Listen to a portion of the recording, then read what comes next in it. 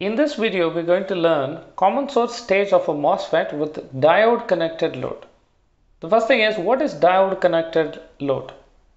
As we discussed in the previous video, having a resistive load, especially in the integrated circuits or CMOS technology, is going to be costly because it takes more area and expecting a very precise value of resistance is difficult. Hence, if you can use a MOSFET itself as a load, it is lot better and in fact in integrated circuits it's going to be the most efficient way of doing. So first of all let's see what is diode connected load. So when we say diode it's going to be two terminal device but we know MOSFET is a three terminal device. In fact to be precise it's a four terminal device if we consider the body terminal as well. But in general we talk about three terminals drain, source and gate now, to make it a two terminal device, we have to connect two terminals together at least. We cannot connect gate and source together because then VGS should be greater than VTH. That cannot be possible if we connect gate and source together. We cannot connect drain and source together because in that case there won't be any current flowing. The only possibility we have is connecting the drain and the gate. In that case, we will be left with two terminals.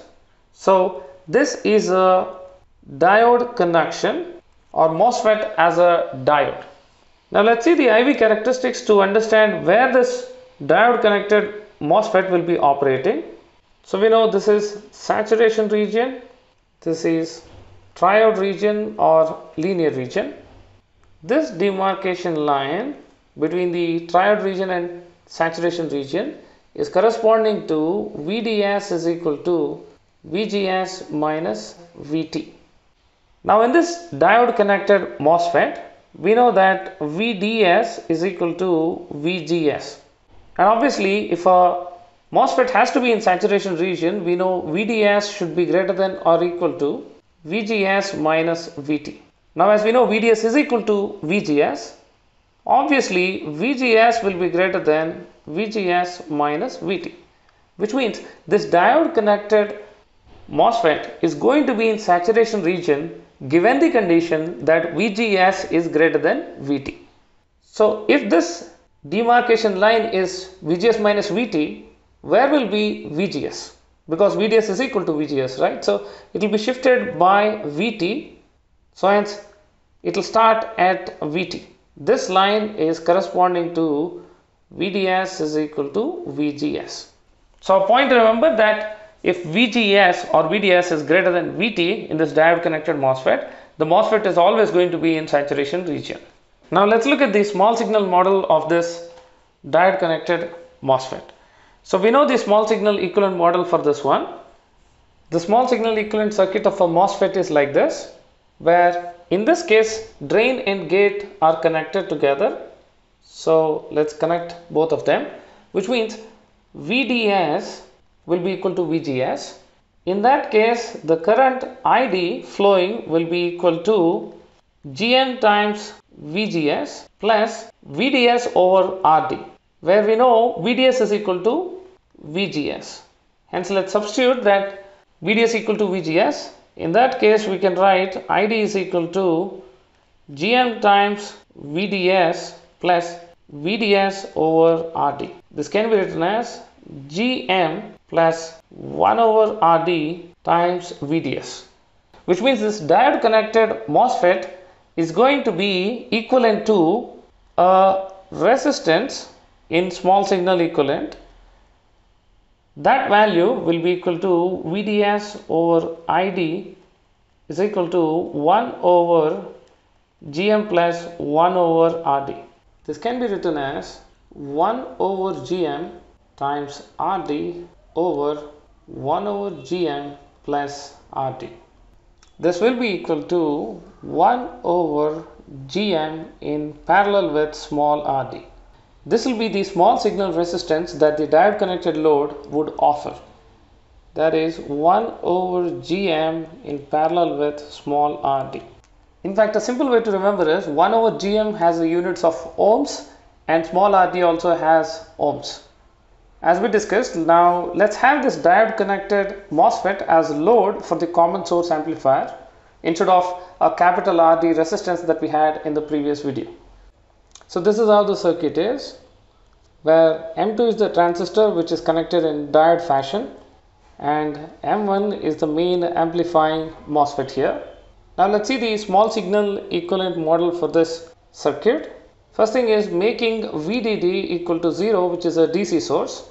The diode connected MOSFET equivalent will be a resistance which is 1 over GM2 representing that it is for M2 device in parallel with RD2 and at times we will choose to write simply R02 both are same.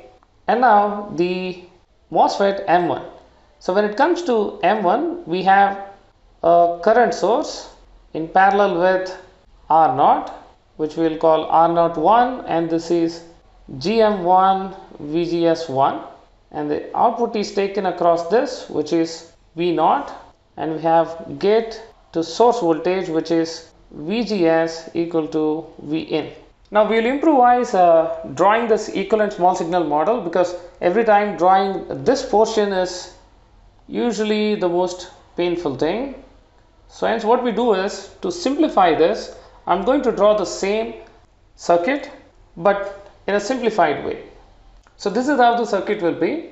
Now we know that R01 or simply R0 is a representation for channel length modulation now this circuit we have encircled in the red color one can be shown with the ideal MOSFET there without channel length modulation which means this ideal MOSFET here is going to let GM times VGS small signal current to flow through which is dependent on obviously VGS that is here so that we don't have to draw this circuit it will be very simple the overall resistance through which the GM VGS will go through will be R01 in parallel with 1 over GM2 in parallel with R02. This will be the overall resistance that it will flow through. As the current is flowing through this way, the voltage here will be positive, here it will be negative, which is in fact exactly in reverse to that of the output voltage measured.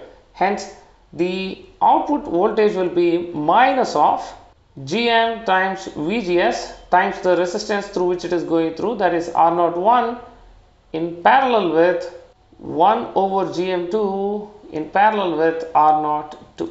We know that VGS is equal to Vin hence we can write the voltage amplification factor is equal to V0 over Vn equal to minus Gm times R01 in parallel with 1 over GM2 in parallel with R02 and we can write about the input resistance. Obviously we are directly looking into the MOSFET input for input resistance.